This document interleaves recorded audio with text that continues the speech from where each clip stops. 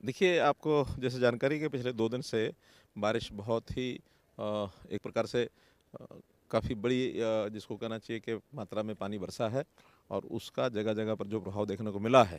तो आज हम देख रहे हैं, जैसे कौशल्या डैम पर खड़े हैं।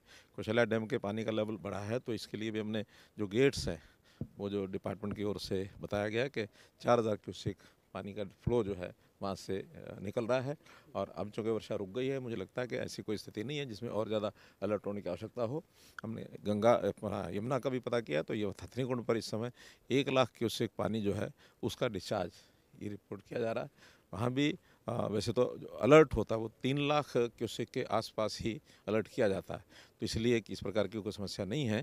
फिर भी आखिर प्रिपेयर फॉर द वर्स्ट जैसा कहते हैं तो आगे भी किसी प्रकार की वर्षा अगर आती है या पहाड़ से पानी ज़्यादा आता है तो हमारा जो डिपार्टमेंट है वो अलर्ट है।